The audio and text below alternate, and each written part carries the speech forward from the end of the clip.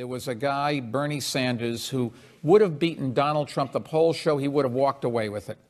But Hillary Clinton got the nomination for a variety of reasons. If it's Donald Trump versus Bernie, I would support Bernie. Now, if Bernie Sanders never said he was a democratic socialist, based on what he's saying, people wouldn't be calling him a democratic socialist. That's how he characterizes himself in sort of European terms, the democratic socialist parties in, in Europe. Bernie is speaking to a yearning that is deep and real, and he has credibility on it. No one questions Bernie's authenticity on those issues. I will take Bernie Sanders over Donald Trump or Ted Cruz anytime. So it's got it. Let's keep our eye on what's really at stake in this election.